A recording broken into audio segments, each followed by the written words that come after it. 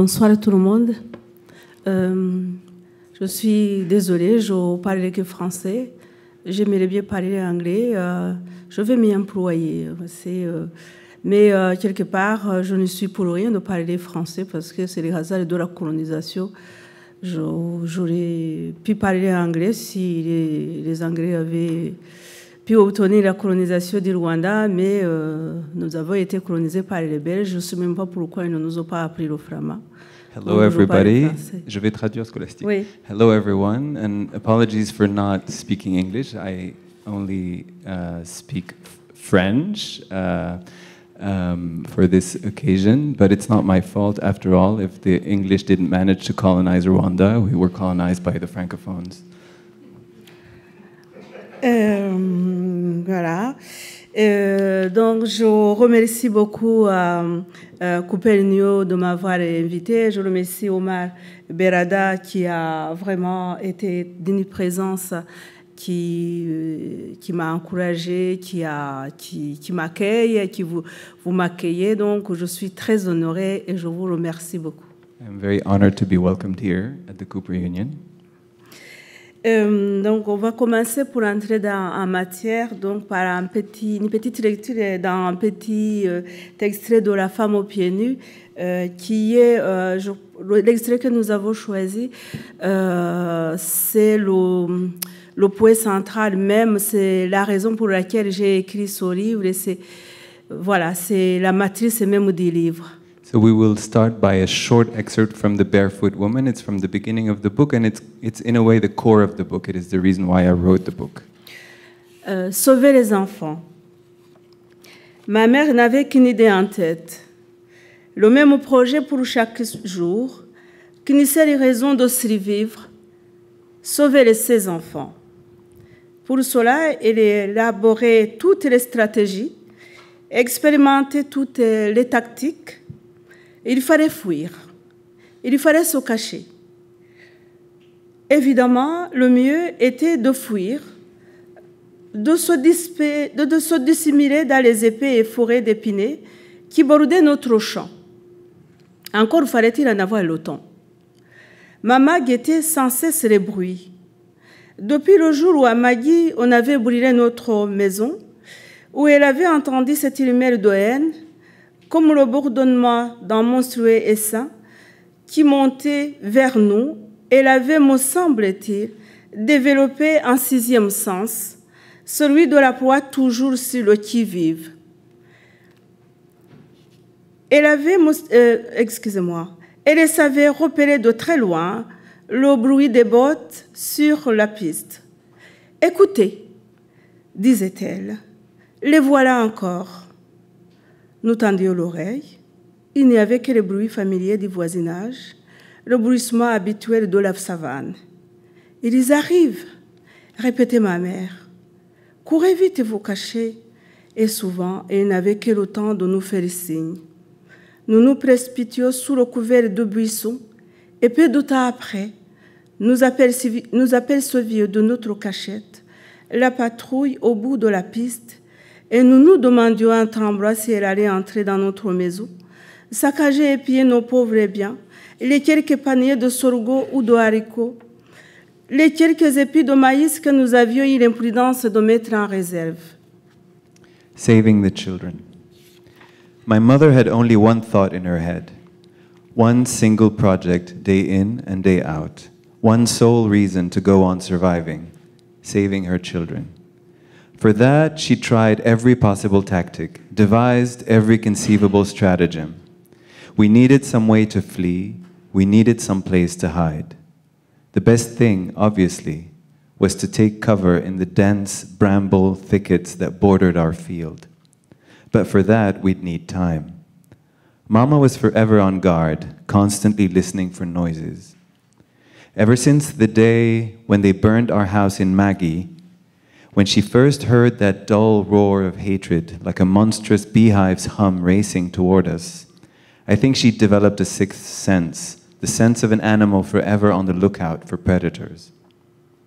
She could make out the faintest, most faraway sound of boots on the road. Listen, she would say, they're back. We listened intently. We heard only the familiar sounds of the neighbors, the usual rustles of the savannah. They're back, my mother said again. Quick, run and hide. Often, she only had time to give us a sign. We scrambled under the bushes, and a moment later, peering out from our hiding place, we saw the patrol at the end of the road, and we trembled as we wondered if they'd break into our house, ravage and steal our meager belongings, our few baskets of sorghum or beans, the few ears of corn we'd been foolish enough to put by. Maman n'était jamais satisfaite de ses plats de survie. Elle pensait sans cesse à améliorer ses camouflages, à nous ménager d'autres refuges. Mais au fond d'elle-même, elle savait bien que le seul asile qui pouvait garantir notre survie, c'était de franchir la frontière, de partir au Burundi, comme l'avaient fait déjà tant de Tutsis. Pourtant, cet exil, elle ne l'envisageait jamais pour elle-même. Ni mon père, ni ma mère ne songeaient jamais à s'exiler. Je crois qu'ils avaient choisi de mourir au Rwanda. Ils s'y feraient tuer. Ils s'y laisseraient assassiner. Mais les enfants, eux, devaient survivre. Mama was never satisfied with her survival strategies. She was forever coming up with improvements to her camouflage, forever finding new refuges for her children. But deep down, she knew there was only one sanctuary, only one way we could ensure our survival crossing the border, leaving for Burundi, as so many Tutsis already had. But she never once thought of taking that way out herself. Neither my father nor my mother ever considered going into exile. I think they'd made up their minds to die in Rwanda. They would wait there to be killed. They would let themselves be murdered. But the children had to survive.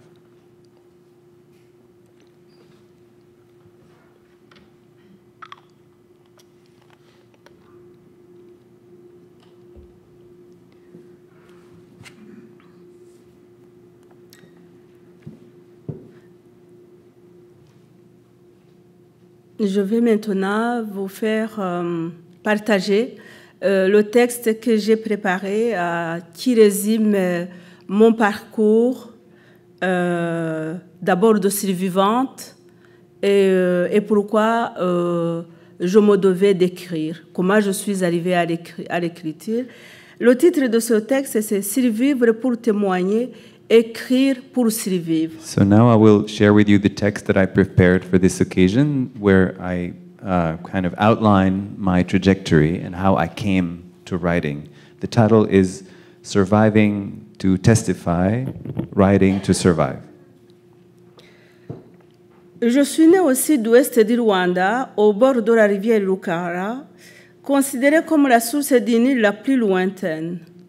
I was born in the southwest of Rwanda, at the edge of the river Rukarara, considered as the remotest source of the Nile.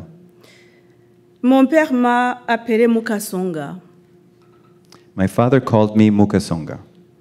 Il n'y a pas de nom de famille au Rwanda. Le nom est donné par le père. There is no family name, no last name in Rwanda. The name is given to you by your father. Il est lié aux circonstances de la naissance de l'enfant. It is linked to the circumstances of the birth of the child. Mukasonga veut dire encore, encore une fille. C'était une sorte de reproche pour ma mère qui, pour la troisième fois, accouchait d'une fille. Mukasonga means again, again a daughter, again a girl. It was a kind of reproach addressed to my mother, who, for the third time, was giving birth to a girl. Mais Mukasonga signifie aussi le sommet, le point culminant. Je préfère opter pour cette dernière signification But Mukasonga also means the summit, the culminating point. I prefer to opt for this meaning. Pourquoi? Parce que je pense que euh, après euh, avoir pu remplir la mission que mes parents m'avaient confiée d'être de mémoire, et après avoir pu construire euh, avec Cockcheese un tombeau de papier et avec la femme aux pieds nus, euh, le linceul pour couvrir le corps de ma mère, je pense que euh, euh, j'opte pour euh, de cette deuxième définition parce que euh, ça voudrait dire l'espoir. I decided to opt for the second definition because after having written my first book, Cockroaches, as a paper tomb for the dead, and after having written with The Barefoot Woman uh, uh, a kind of coffin of words for my mother, I believe I have constructed a certain kind of hope. Lorsque j'ai été baptisée, ce qui équivalait à cette époque à l'inscription à l'état civil, un missionnaire m'a attribué le prénom de scolastique. When I was baptized, which at that time was equivalent to registering for civil status, a missionary gave me the name Scholastique. En 1959 éclatèrent les premiers massacres de Tutsis. In 1959, the first massacres of the Tutsis broke out. En 1960, j'avais 4 ans, j'ai vu brûler la maison de mes parents. In 1960, I was four years old. I saw my parents' house burned down. Ma famille, comme tant d'autres Tutsis, a été déportée dans une région insalubre du Rwanda, le Bugesera. My family, like many other Tutsi families, uh, was deported into an insalubrious region of Rwanda, the Bugesera. Région alors infestée par la mouche tsetse est restée le domaine des grands animaux, éléphants, buffles, léopards, lions et tant d'autres. The Bugesera was then infested by the tsetse fly and was really the domain of large animals elephants, buffaloes, leopards, lions, etc. Nous n'étions plus désormais des êtres humains. Nous nous étions appelés les Inyenzi, des cafards, des bêtes nuisibles qu'il convenait d'éradiquer. We were no longer human beings. We were called Inyenzi, cockroaches, um, noxious beasts that needed to be eradicated. Les persécutions quotidiennes, les massacres à répétition étaient là pour nous rappeler que le génocide était notre avenir promis. The daily persecutions, the repeated massacres were there to remind us that the genocide was our promised future. Mais nous n'étions pas résignés. Nous étions bien décidés à survivre. But we were not, we had not given up. We were intent on surviving. Beaucoup s'étaient exilés dans les pays voisins, Burundi, Uganda, Tanzanie, Congo. Many had sought exile in neighboring countries Burundi, Uganda, Tanzania, Congo. Moi-même, chassé de l'école d'assistance sociale de Boutaré, dans le sud-est, en 73, je me suis réfugiée au Burundi.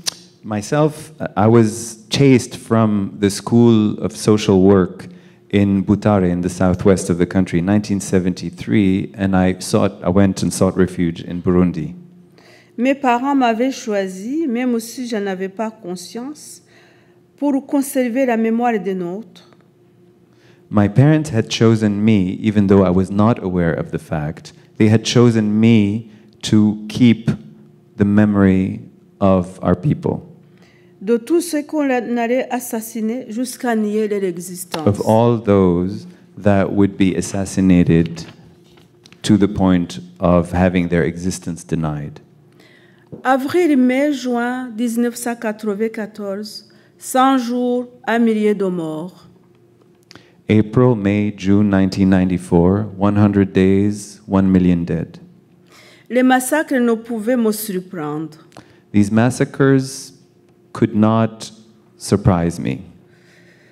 On disait massacre obscur, violence tribale, atavique, primitive, disaient les médias. The media would say obscure massacres, tribal violences, primitive violence, etc. Les gouvernements du monde entier voulaient écarter le mot génocide pour ne pas avoir à intervenir. The governments of the whole world wanted to leave out the word genocide in order not to have to intervene. Depuis 1959, les Tutsis le savaient bien. Since 1959, the Tutsis knew. Ils connaissaient leurs futurs assassins. Ils vivaient côte à côte. C'était leurs voisins. They knew their future murderers. They lived side by side. They were their neighbors. mon premier sentiment fut celui d'un soulagement. Enfin, il n'y avait plus à attendre. My first feeling, my first reaction was a kind of relief. At last, there was, we didn't have to wait anymore. Cela s'était passé comme nous l'attendions, dans la peur depuis si longtemps.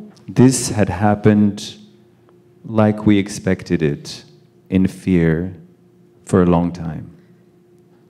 Je me disais enfin, il se repose maintenant. I thought, at last, they are resting now. Mais il y avait tant de morts, tant d'humiliations, tant d'atrocités extrêmes, et cela, je ne pouvais le pardonner. But there were so many dead, so much humiliation, so many atrocities, extreme atrocities, and that I could not forgive. Bien sûr, comme tous les humains, je cherchais à savoir si des membres de ma famille restaient au Rwanda, il y aurait quelques rescapés. Of course, like any human being, I was trying to figure out, to find out if among the members of my family who remained in Rwanda, there were any survivors.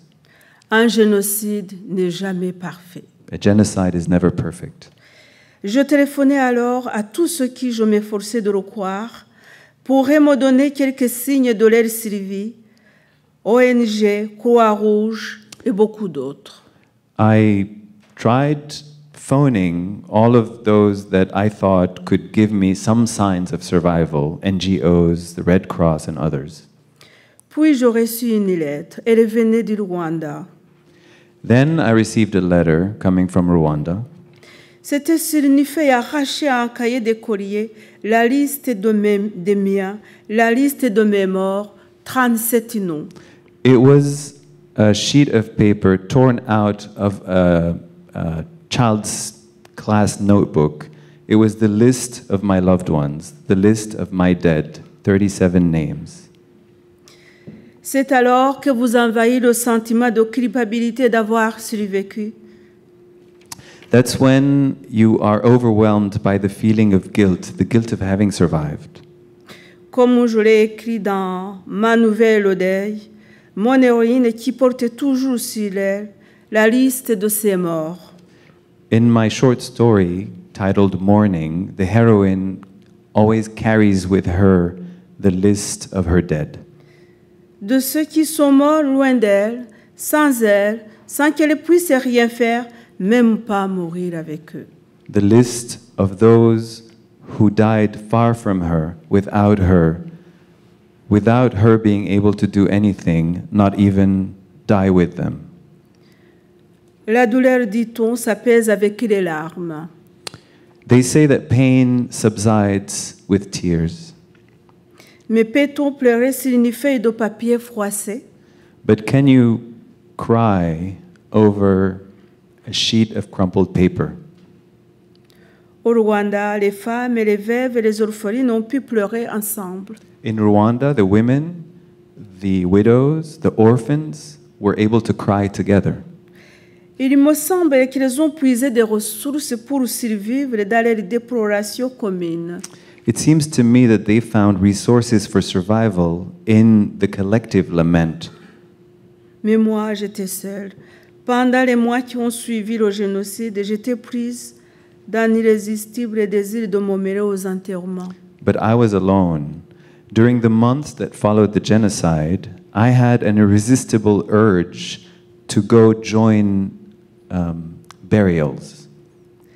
J'allais pleurer avec des familles en deuil qui se demandaient quel était cet noir inconnu qui montrait tant de chagrin. I would go cry with mourning families who would wonder who is this unknown black woman who was displaying so much sorrow. Au retour de ces obsèques étrangères, j'avais honte, j'étais le parasite du deuil des autres. On my way back from these alien funerals, I was ashamed. I was the parasite of other people's mourning. Bien sûr, je savais qu'un jour, il me faudra retourner au Rwanda, pleurer mes morts. Of course, I knew that one day I would have to go back to Rwanda to mourn my dead. Pendant dix ans, la force m'a manqué pour m'y rendre. J'ai fini par y aller en 2004. For 10 years, I didn't have the strength to go. I ended up going in 2004. à Nyamata, à Gitagata, l'un des villages de regroupement où j'avais passé mon enfance, rien ne subsistait. In Nyamata, in Gitagata, one of the villages, the grouping villages, the villages where the Tutsis were regrouped and where I spent my childhood, there was nothing left. Pas de tombe devant laquelle se recueillir, la brousse avait tout envahi. No tomb before which to pause and reflect. The bush had invaded everything. On avait voulu éradiquer jusqu'au souvenir de l'existence même de ceux qui avaient vécu là. They had wanted to eradicate even the memory of the existence of those who had lived there. Ils étaient exposés, pêle-mêle, anonymes dans le grand ossuaire de l'église de la mission de Nyamata. They were displayed in a jumble, anonymous in the large ossuary of the Mission Church of Nyamata. À moins que les, les cadavres n'aient été dévorés par les chacals ou les chiens ivres de sang, redevenus sauvages après le génocide. Unless their corpses had been devoured by the jackals or the blood drunk dogs become wild again after the genocide. C'est alors que j'ai compris ce que les morts attendaient de moi. That is when I understood what the dead were expecting of me. C'est que l'on avait traité de cafards, que l'on avait exterminé. Désormais, ils ne vivaient plus qu'à moi, et c'était par moi, grâce à l'écriture, qu'ils devaient revivre. Those who had been treated like cockroaches, that had been exterminated, now it is inside me that they lived, and it is through me, thanks to writing, that they would live again. Je cite ici Elie Wiesel son dans son livre La nuit. Pour le survivant qui veut témoin, le problème est simple. Vous pouvez lire toute la Ouais, d'accord. Son devoir est de déposer pour les morts autant que pour les vivants et surtout pour les générations futures. Oublier les morts serait les tuer une deuxième fois et si les tueurs et leurs complices acceptaient, nul n'est responsable de leur premier mort, nous le sommes de la seconde. Si le témoin s'est fait violence et a choisi de témoigner, c'est pour les jeunes d'aujourd'hui, pour les enfants qui naîtront demain. Il ne veut pas que son passé devienne leur, avenir. This is a quote from uh, Elie Wiesel from the preface to his book The Night. For the survivor who chooses to testify, it is clear. His duty is to bear witness for the dead and for the living. To forget the dead would be akin to killing them a second time. And if no one, except for the killers and their accomplices, if no one is responsible for their first death, we are responsible for the second one. The witness has forced himself to testify for the youth of today, for the children who will be born tomorrow.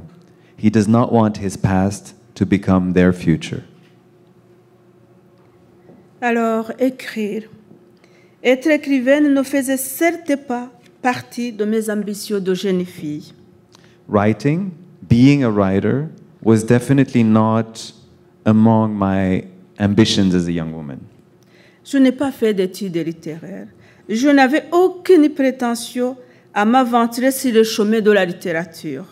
I never did any literary studies. I had no pretensions to venture on the paths of literature.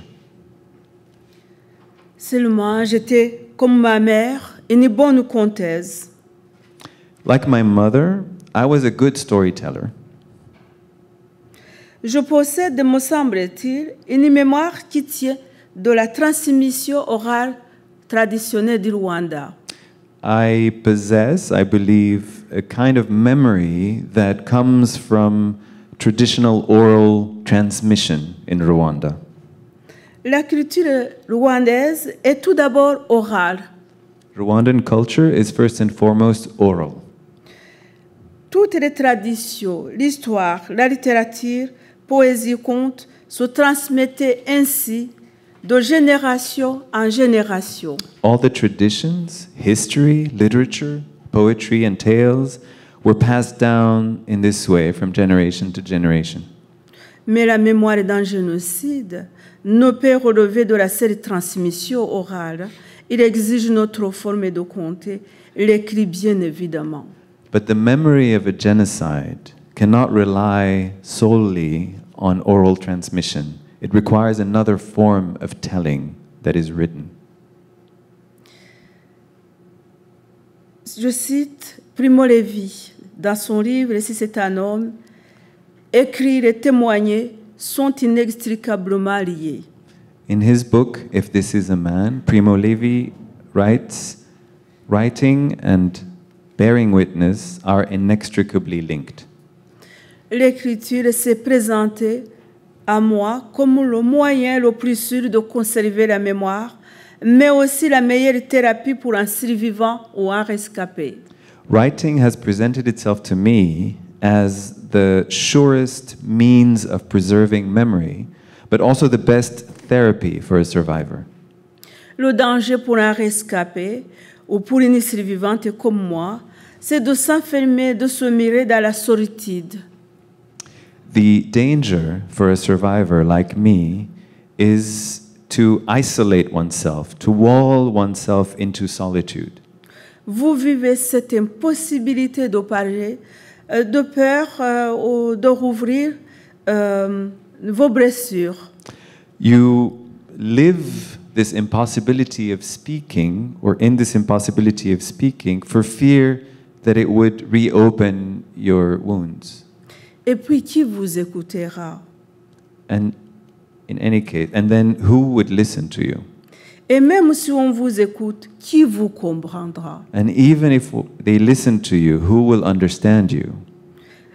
Vous êtes comme ces anciens combattants qui ressassent les guerres à laquelle ne s'intéresse plus personne et que tout le monde s'efforce d'oublier. You're like these veterans who keep repeating the stories of their war that don't interest anyone or that everyone is trying to forget about. Alors, mieux vaut sauter que passer pour un rat de terre, un fou important. So it's probably better to stay silent rather than be taken for a rambler or an unwelcome fool. Et vous voilà enfermé à jamais dans votre désespérance. And here you are, isolated forever in your despair. Mais pour moi, je reconnais ma chance. But I have to acknowledge my luck. L'écriture m'a permis de surmonter la culpabilité d'être survivante.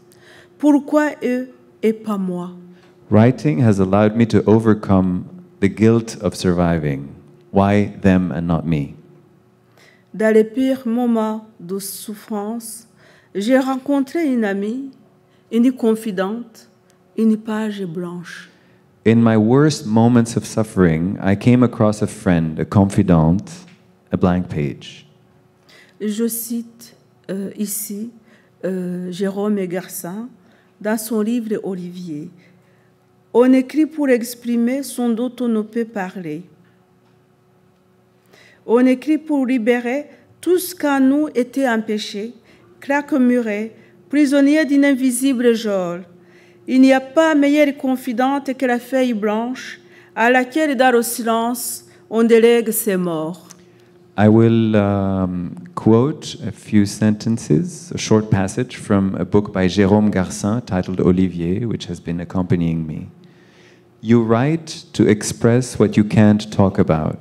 You write to liberate everything that was hindered within you, everything that was slammed, trapped in an invisible jail. There is no better confidant than the blank sheet of paper to which, in silence, you entrust your dead. Écrire. Il m'a fallu dix ans pour me mettre à écrire. Writing. It took me 10 years to start writing. je m'étais d'abord lancé dans l'action au secours des rescapés, des orphelins si nombreux. I first had uh, thrown myself into action um, in, in order to try and help the survivors, the orphans who were so numerous. J'étais une des rares adultes survivantes de Nyamata et ma place était d'être auprès d'eux. I was one of the rare surviving adults of Nyamata, and my place was to be by their side. Mais les morts, que faire pour les morts? But the dead, what to do for the dead? Il m'appelait. Les ossements étaient dispersés dans la brousse, entassés dans des fosses, recueillis pêle-mêle. Comment les eximer de l'anonymat du génocide?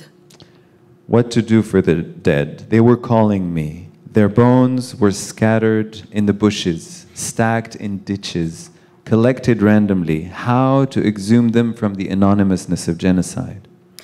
C'est sur un cahier de courrier, un cahier à couverture bleue, que j'ai commencé à écrire. It's on a school kid's notebook, a notebook with a blue cover, that I started to write. Ce ne fut d'abord que des noms. Les noms de tous ceux de mon village de Gitagata. Il fallait en dresser la liste au plus vite, avant que les noms ne s'effacent de ma mémoire. At first, it was only names, the names of all the people from my village of Gitagata. I had to draw up the list of the names as fast as possible before they all faded from my memory. Désormais, j'étais sans doute l'une de celles à savoir qu'ils avaient existé, à savoir qu'ils étaient bien des êtres humains. I was probably one of the only people to know that they had existed, to know that they were human beings. et qu'on avait exterminé comme on, on éradique des bêtes nuisibles, des cafards. that they were human beings, they who had been exterminated like, um, like cockroaches. Les nommer un à un, sans en oublier aucun, c'était mon devoir de survivante. To name them one by one without forgetting any of them, that was my duty as a survivor. Je n'avais pas à dénoncer, l'horreur du génocide était avérée, je n'étais pas au Rwanda, je n'avais pas, je n'avais pas à témoigner. I didn't have to denounce anything. The horror of the genocide was obvious. I was not in Rwanda. I did not have to testify. Mais les morts m'appelaient, réveillaient ma mémoire de leur présence. But the dead were calling me, were waking up my memory with their presence. Écrire ne serait pas une thérapie personnelle, un acte de résilience. Ce serait pour que je survive ce qu'on avait voulu à jamais jeter dans l'oubli. Writing would not be a personal therapy, an act of resilience. The point of writing would be the survival of those that were almost thrown into oblivion. Et puis autour de ces noms apparaissait une foule de visages, venaient s'agréger des souvenirs émouvants, drôles. And then around those names, a crowd of faces started to appear. Memories, moving memories, funny memories starting to, started to aggregate. Tout un monde est toujours menacé de disparaître, toujours acharné à survivre. A whole small world always on the verge of disappearing, always determined to survive. Et peu à peu, ces mots, ces phrases jetés en désordre étaient comme autant de défis jetés à l'oubli. And little by little, these words, these sentences thrown on paper in a disorderly fashion, were like a challenge in the face of oblivion. Autant de petites victoires sur tout ce qui avait assassiné les miens, mais aussi un combat que je livrais à moi-même. They were victories over those who had assassinated my people. They were also a battle that I was waging within myself. contre le remords envahissant, paralysant, d'avoir été injustement épargné. a battle within myself against the remorse, the, the overwhelming remorse, the paralyzing remorse of having been unjustly spared, d'avoir commis une faute inexpiable envers tous ceux qui avaient péri, celle d'avoir survécu, of having uh, committed an irredeemable fault with regard to those who had perished, the fault of having survived. Pourquoi ai-je survécu Il me fallait trouver un sens. Why did I survive? I had to find out. Pourquoi mes, para- mes parents m'avaient-ils choisi pour l'exil Why did my parents choose me for exile? Certes, j'étais en danger. J'avais échappé de peu au lynchage par mes camarades Hutus. Certainly, I was in danger. I had narrowly escaped lynching uh, at the hand of my Hutu classmates. Et puis, je n'avais plus d'avenir au Rwanda. Certainly, there was no future for me in Rwanda. Mes parents m'ont choisi pour l'exil. Bien sûr, ils voulaient me sauver la vie. Of course, my parents wanted to save my life. They chose me for exile. Mais peut-être voyaient-ils au-delà. But perhaps they were thinking beyond that.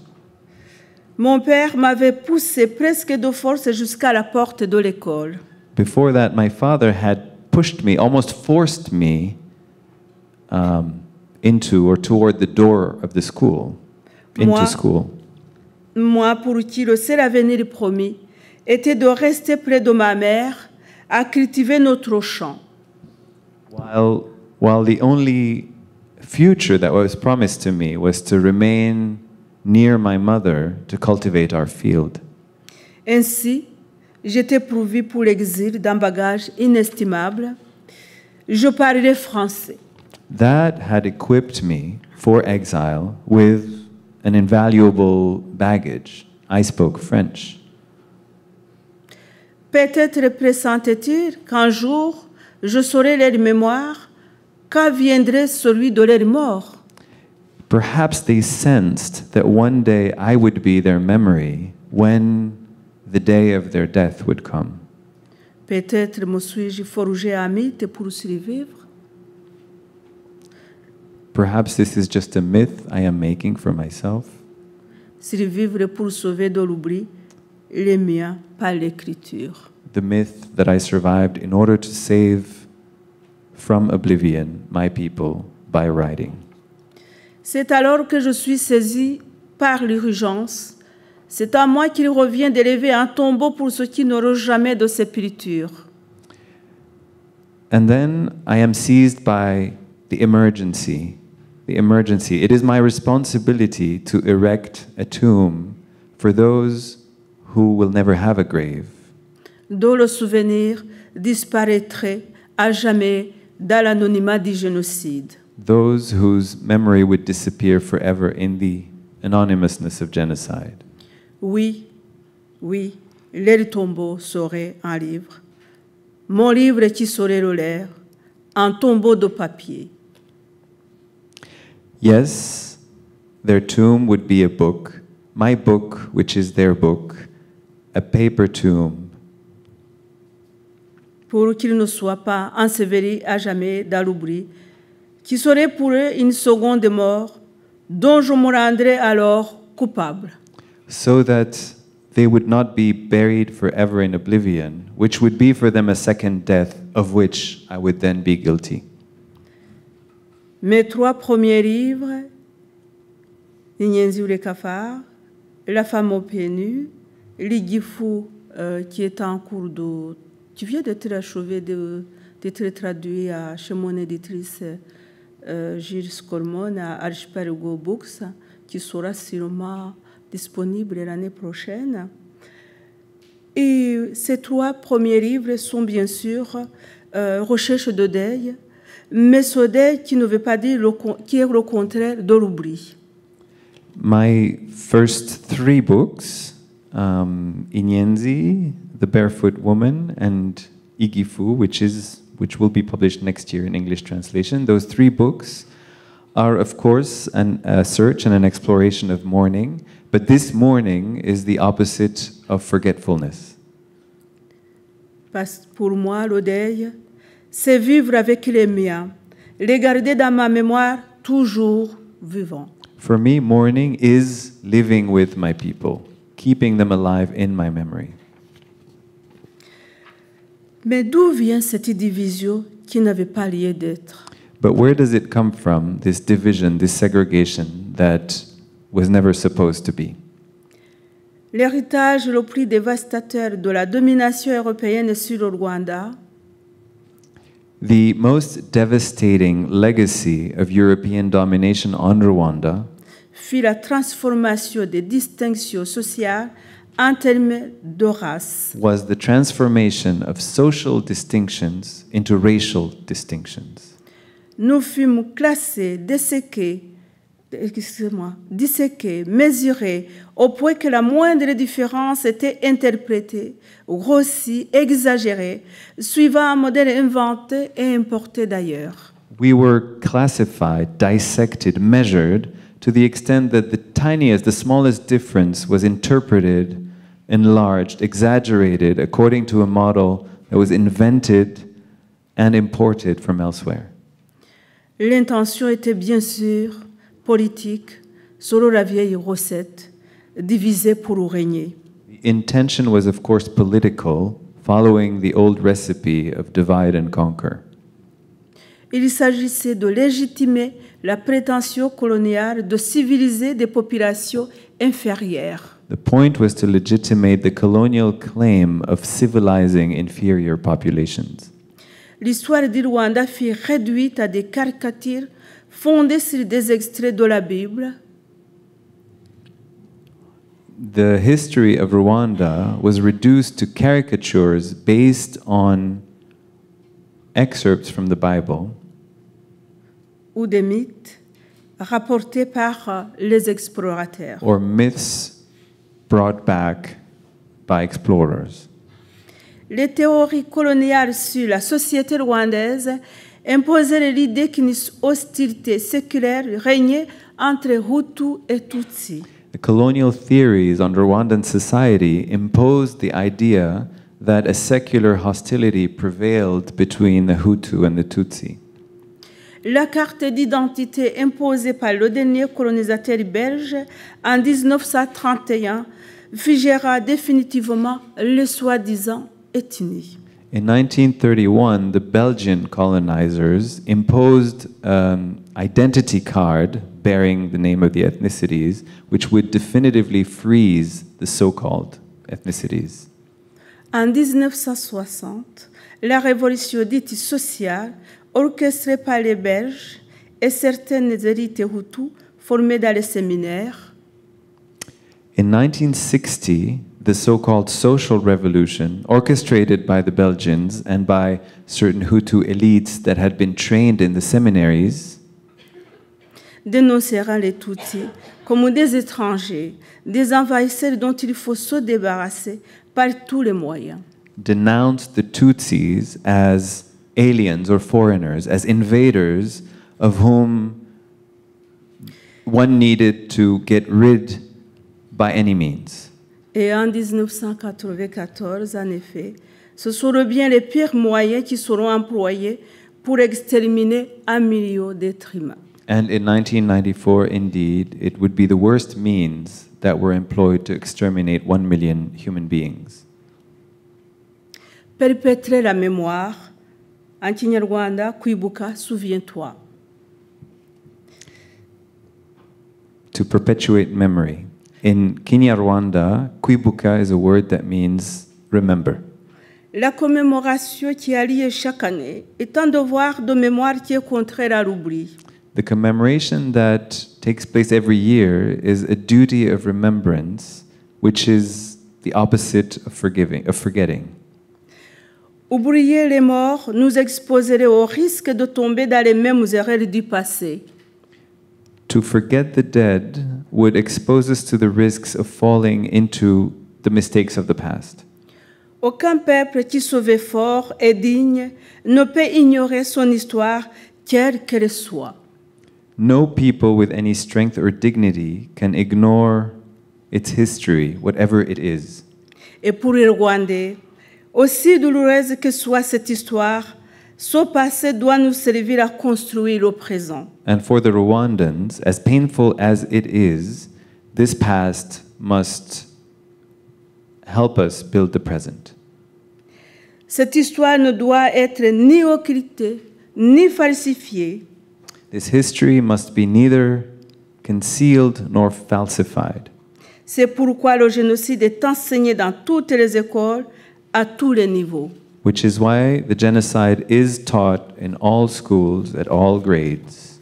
Nous voulons préserver nos enfants, les éloigner d'un passé qui doit passer. We want to preserve our children, to keep them away from a past which must pass. Si nous, les Rwandais, nous refusons que notre pays soit l'otage de notre passé, il n'est pas non plus question d'oublier. If we, Rwandans, refuse that our country be hostage to our past, on the other hand, there, on the other hand, um, we should not forget.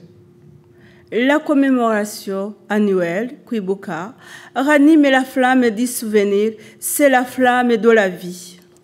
The annual commemoration, Kwibuka, revives the flame of memory. It is the flame of life. C'est l'hommage rendu aux victimes, aux morts comme aux survivants. It is the homage paid to the victims, the dead and the survivors alike. Mais c'est bien s'il se passé, si désespérant qu'il ait été, que tout un peuple s'est employé à, à rebâtir l'espoir. But it is indeed on this past, as distressing as it may have been, that an entire people has striven to rebuild hope. Les Rwandais parlent tous la même langue, The Rwandans all speak the same language, le Kinyarwanda, the Kinyarwanda. obéissent à la même culture. They obey or belong to the same culture. Il n'y a jamais eu de région Hutu ni de région Tutsi. There has never been in Rwanda a Hutu region or a Tutsi region. Ces deux appellations correspondaient tout simplement à des activités différentes et complémentaires. These two appellations, Hutu and Tutsi, simply corresponded to different and complementary activities. Les Tutsis étaient éleveurs, The Tutsi were cattle herders, les Hutus agriculteurs. the Hutu cultivators. Les uns avaient besoin des autres. One needed the other. Et aujourd'hui, au Rwanda, il n'y a plus ni Hutu ni Tutsi. Il y a tout simplement des Rwandais. And today in Rwanda, there is no longer any Hutu or Tutsi, only Rwandans. Un dernier mot pour One- terminer, pour conclure. One last word to conclude. J'ai choisi euh, un mot, une tradition, euh, une valeur traditionnelle qui fait l'unité des Rwandais aujourd'hui. I chose a word, a tradition, a traditional value that constitutes the unity of Rwandans today. Son mot, c'est agachiro, la dignité. The, this word is agachiro, which means dignity. Le voyageur qui parcourt les routes du Rwanda n'y voit aucun panneau affichant des slogans politiques à la gloire du président. The traveler who travels the roads of Rwanda today um, sees no sign with slogans to the glory of the president. Un seul mot s'y affiche, agachiro. There's only one word on the signs, agachiro. On peut traduire ce terme par la dignité, mais il implique bien des valeurs, la fierté de se retrouver unis dans l'immense effort commun de reconstruire une nation This term can be translated by dignity or as dignity, but it implies many values. The pride of finding ourselves united in the immense common effort of reconstructing a nation, a scarred nation. de compter d'abord sur soi-même, tout en ouvrant les frontières d'un pays longtemps réduit à l'état de ghetto par les colonisateurs et les missionnaires. of counting first and foremost on ourselves while at the same time opening the borders of a country which was, for a long time, reduced to the state of a ghetto by the colonizers and the missionaries, de renouer avec une autre histoire débarrassée des fantasmes d'une anthropologie raciste et des mythes tirés de la Bible. Of reconnecting with our history, freed from the fantasies of a racist anthropology and of the myths drawn from the Bible. C'est donc autour de cette notion d'agachiro, la dignité, que les Rwandais ont pu entrer dans le processus de réconciliation. And it is around this notion of agachiro, of dignity, that Rwanda has been able to enter a process of reconciliation. Je vous remercie d'avoir été patient. C'était long. Thank you for your patience.